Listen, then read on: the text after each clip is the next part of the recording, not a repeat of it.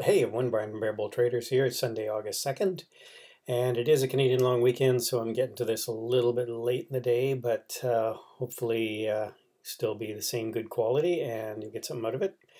So let's start out with the week ahead here, and it looks like we've got uh, lots more earnings coming up here. We got Disney on the 4th after the market, Square, Twilio, Roku, Beyond Meat. Yeah, a lot of uh, a lot of the stocks we like to trade, day trade. And uh, yeah, so a lot of interesting stocks, quite a variety of stocks coming up this week.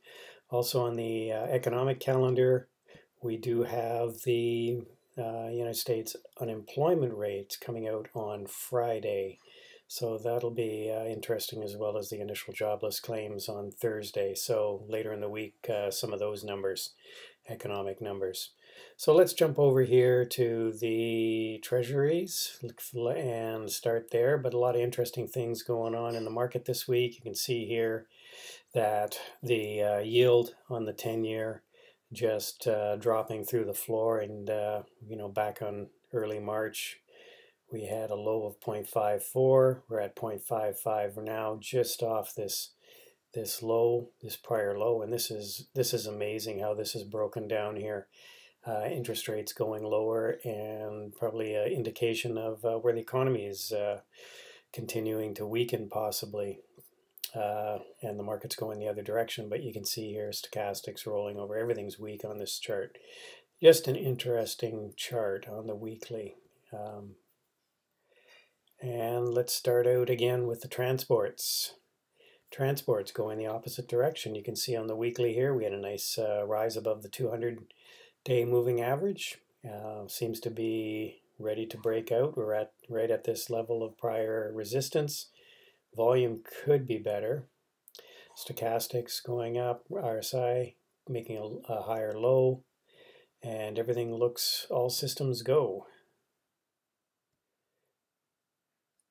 And the daily here, you can see we had a pretty significant pullback on Friday, but uh, again, just uh, breaking out here by the looks of it on uh, on the Friday and uh, looking like it wants to go higher. So the Dow, the Dow on the week, we ended up uh, down a little bit here, about 41 points, not significant obviously. Um, RSI kind of flattening out, volume kind of uh, average for the last uh, couple months. Stochastic still hanging in there, so we may end up just chopping here in this range. It may uh, we may be sort of flattening out Let's uh, kind of skip over the daily here, but you can see two uh, two reversing dojis on on Thursday and Friday, still holding this 50 moving average, bouncing off it, and still holding. So, still the buying buying brigade is still coming in and uh, on the sell-offs and, and buying up, buying this, the index back up. SPY on the weekly, it looks like again breaking out from previous week. We are up uh, one and three quarter percent here. RSI looking still like it's going higher, volume again dropping off. It's the only thing that's a little bit concerning here, but there, this high uh, is certainly in the crosshair now. Um, certainly 330 could be a level where we'll have a little bit of resistance, maybe going to that next week. But uh, trend is a friend and it's still higher. And the daily here, again, doji candle, reversing candle, kind of uh, sold off during the day, came right back up at the end of the day. Buying brigade came in, and the Qs were right back up near the highs, up uh, 4% on the week, and looking good to uh, maybe continue higher. Qs are the technology sector had a little bit of a pullback here, some rotation out into maybe some value stocks, but now it's uh, it's back in favor apparently. So volume kind of average for the last uh, couple months. And uh, stochastics rolling over a little here. RSI really, really sort of touching on the uh, over overbought again. Again, same story on the Qs. Bounce back after sell-off. Buying brigade came in. And the IWM. IWM's not looking as good. Um, it's still kind of stalling at this 150 level. It's where we stalled out here on this week. Uh, we tried to break above it and had a real hard reversal this week. And now we're just trying to get back up through 150. So a, a move through 150 would be significant. because then we'd have sort of 155 and you know 165 could be in the charts after that so just keep an eye on this 150 level this seems to be an area where we're uh, where we're really having some trouble getting through and again the small caps are if if, the, if we go into uh, another lockdown some some shutdowns on uh, industries and, and businesses again the IWM is probably going to get hit the hardest volume here wasn't great so Same story on IWM Friday. Sold off, came back, end of the day. VIX, we're just kind of holding on here. Just bang, bang, bang. This uh, this 20, this 23, 24 level. 2360, 2370, 2355. So this 2350 level, if we if we really break down through here, if we start to break down through here, I'd be uh, watching the markets will go higher. So something else to watch here if we do start to lose this, because uh, really this is an area that's really been holding in there, this 2350 level on the VIX. Uh, so kind of an interesting uh, take on that. And the weekly again just shows we're just we're actually putting in a bit of a double bottom here. But uh, again, I'd be waiting to see what happens if we're going to break to 2350. This is uh, again on the weekly. This is a 50 moving average. So, um, yeah.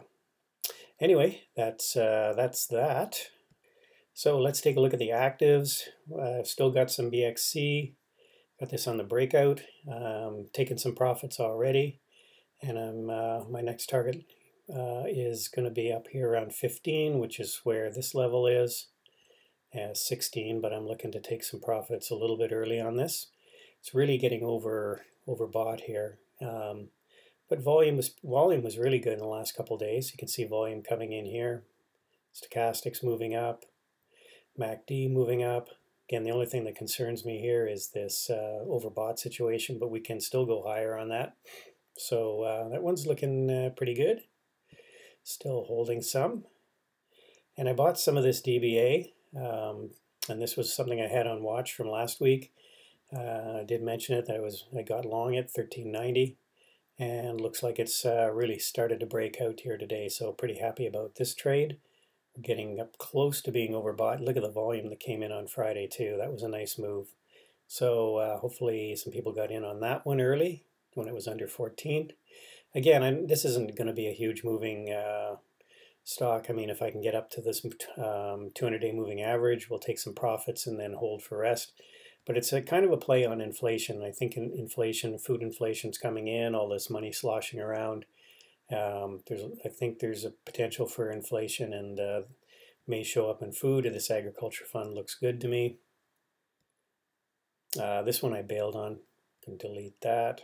Just not looking healthy at all. Just didn't want to follow through on that 50 moving average, just rejected it. And you can see here, rejected it, now just pulling back. So had took profits on the first part and, uh, and then bailed on the rest. So profitable trade. And I'm still in, I don't know why I'm back here, but uh, we're still in the um, in this HGU trade. Um, again, uh, gold is really getting extended here. We got over 2,000. Really happy about this trade. I was in way back there and that looks good. Um, PAS, PAAS is another way I like to play silver, but it's also gold as well. Again, if we uh, we gap up, it looks like the futures are indicating another move higher again in gold. So um, might take uh, might take some more off here. I did lighten up. I did in this pullback. I bought back in, so I might lighten up again here. It does need to. Uh, I think it needs to do some work consolidating here a bit. Stochastics may be rolling over. MACD looks like it's crossing. Uh, RSI is going the other way. So uh, a little bit of conflicting signals. So maybe looking at a gap up and then maybe take some profits off and and we may just uh, we may just do some consolidation here before we uh, leg higher again. And I really think we are going to leg higher again on that. Uh, Space, space I'm just hanging on to, took a lot of profits out of it, but I'm still holding on to a position.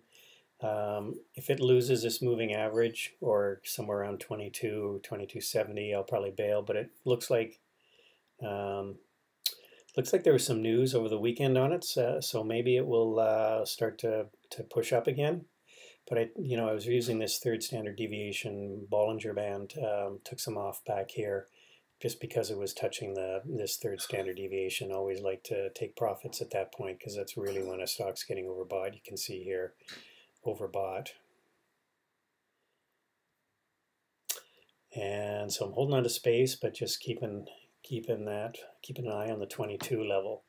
Let's take a look at some things I'm watching for next week. Uh, DraftKings. Some of the sports started up on the weekend. I've noticed there's a lot of sports on TV. That was a, that's a good thing. You can see here we're kind of holding 32, this, what is it, 32, 30-ish. Is this level? 32, 40. So 32, 30, 32, 40. Maybe we'll get a pop tomorrow. RSI is not looking great down volume, picking up. Stochastics. This one's not looking very good, but maybe uh, maybe the start of the, the sports will uh, get that one going, or maybe uh, PENN. Uh, we'll talk about that in a minute. I was looking at this uh, eHealth. Um, came out with its earnings. This is an earnings.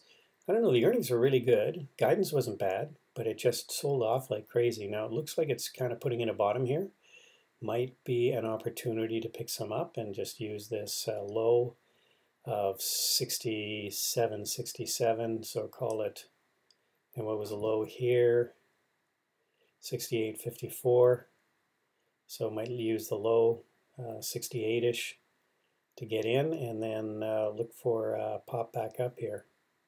A lot of stock up in this area here, a lot of people stuck in this stock up at this uh, up in this price range. So there's going to be a lot of overhead resistance here. People that want to be want to get uh, back to green and just get out of the stock. Um, so back up over uh, when we get close to 100, we may have a lot of uh, selling pressure up in that area. But we've got a long way to go. 70 down there. If we get a 10% on that, I'd be happy. GDX again, this is a, another gold stock. Just keep an eye on that. I already talked about gold. This is gold. I mean, right, making uh, making new highs, up another percent on the day uh, on Friday. Um, on the week, see what we did here on the week. Wow, that's just amazing. That's really you can see here third standard deviation. Again, you can see what happens when we get close to that drop off, drop off so getting up here again into nosebleed areas and uh, RSI is getting up close to 80. Uh, volume was incredible last week. Um, yeah, so gold looking great in the long term. Uh, short term, maybe some profit taking. Um, let's take a look at Intel. Intel's kind of interesting. Bit of a reversing doji on uh, last week, so maybe uh, worth taking a trade here and using this low 47 as, uh, as your stop out point if we close below there. Otherwise it looks like it could uh, maybe reverse, be looking for maybe getting back up here to fill this, uh, possibly fill this um, gap at 51 and take some profits here around 50. So I mean, if you can, can get a bit of a pullback here, 47.50 might be a good entry um, and use 47 as a stop. Um, Babu, I was looking at the, the, the biotechs. They've really gotten hit hard. I'm not sure. I'm kind of on the fence on this one here. Selling pretty significant on Friday. Stochastics go heading lower. RSI heading lower. Still keep an eye on it, but it doesn't look good. Nikola, again, seems like it's putting in a bit of a bottom here. Um, this is the low 29, 30. Uh, where was the low here on Friday?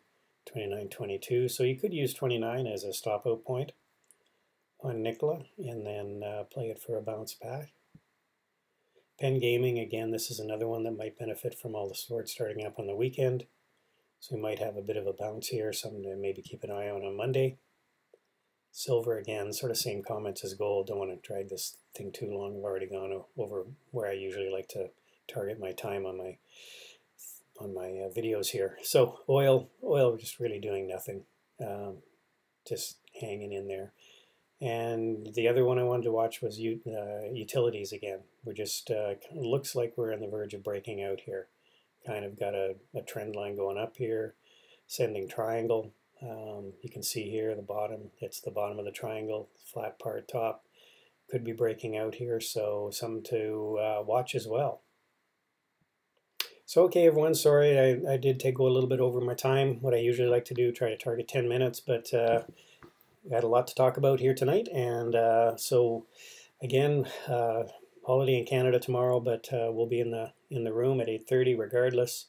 And uh, we'll be 8.30 uh, live on YouTube, our pre-market show, and then 9.30 when the market opens, trading the market. So hope to see you there. Have a good week, rest of the weekend what's left of it for you American friends and around the world. We'll see you uh, tomorrow morning.